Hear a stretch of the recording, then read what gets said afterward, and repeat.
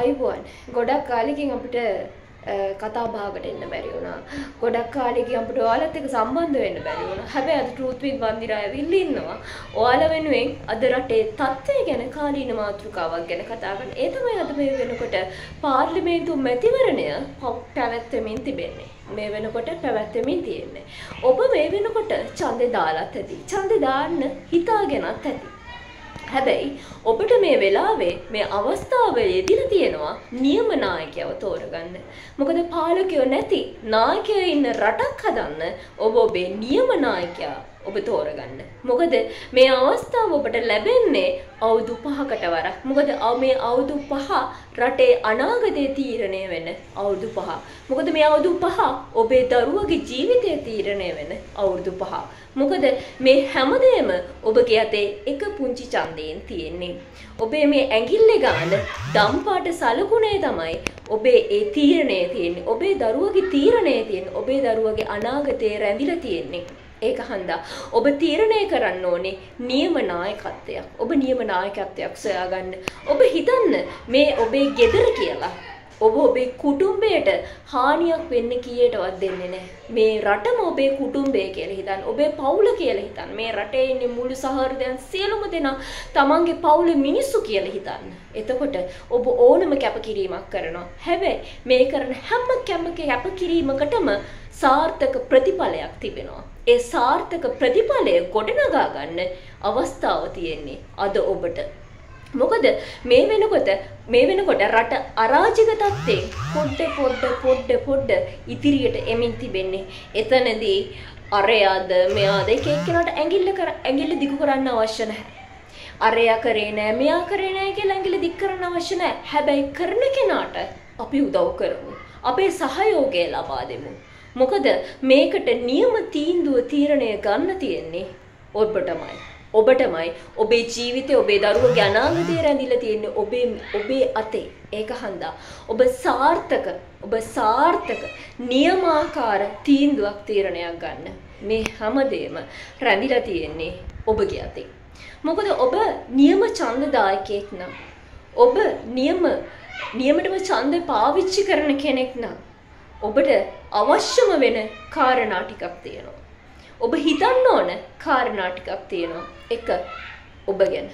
දෙක ඔබේ පවුල ගැන. තුන ඔබේ රට ගැන.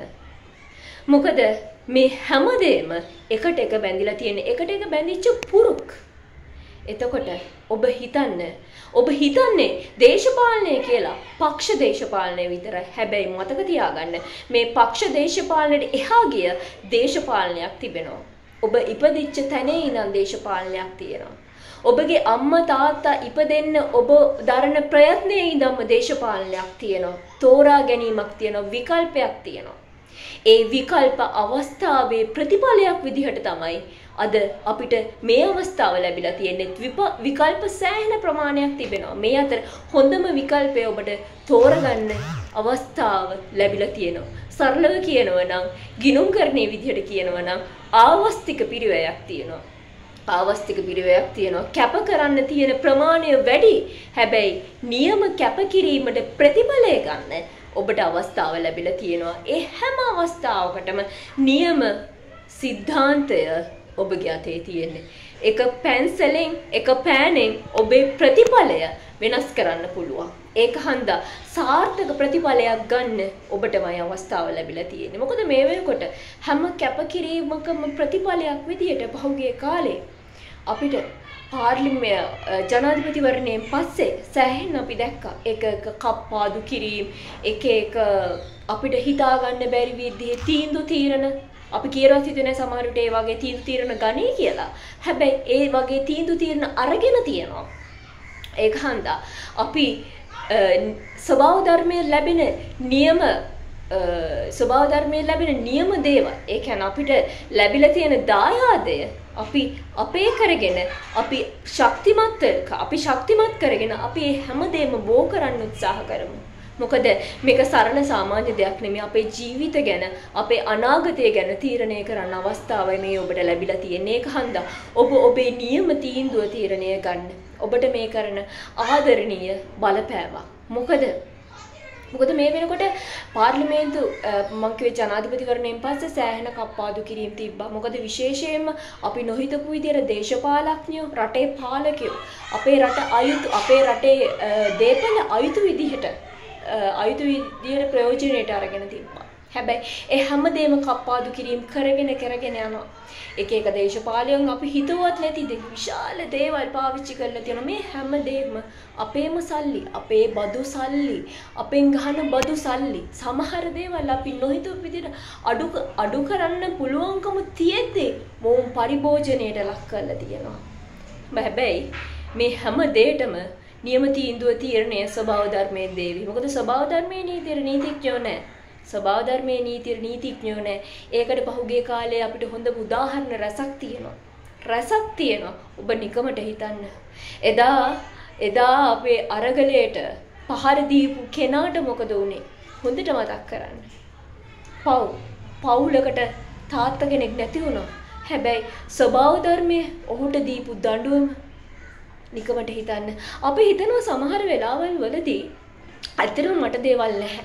හැබැයි මට දේවල් නැහැ. බෑ මම කරන්නෙම ගොඩක් හොඳම දේවල්.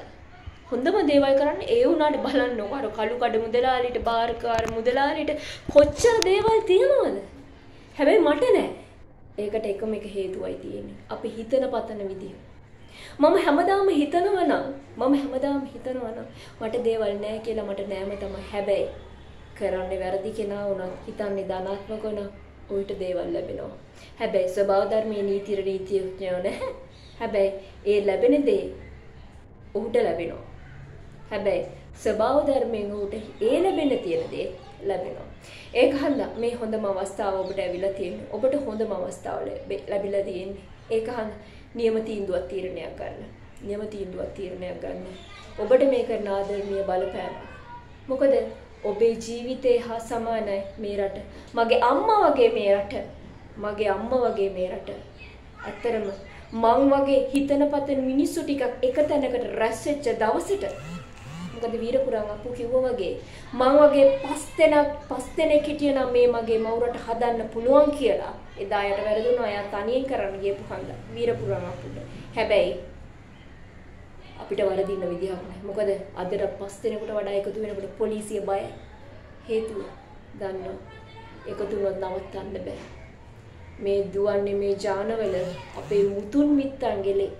මේ කමුතුම ජාන. මේ හැඟීම අනිත් මිනිස්සුන්ට තිබ්බනම් අපේ රට මෙතන නෑ. හැබැයි බලාපොරොත්තු වෙනවා. අනාගතයේ අපේ රටේ දක්ෂ බුද්ධිමත් මිනිස්සු පිරිසක් මේ රටේ වැඩේ කරයි කියලා.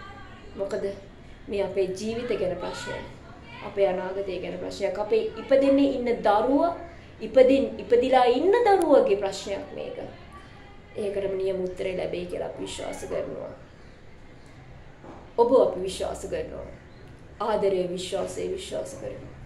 ඇත්තටම ආදරය විශ්වාසය නැති තැනක ඇත්තටම තියෙන මොනවද? ඔබට හිතෙන්න හිතන්න කාරණාවක් ඉතුරු කරනවා. ජය වේවා.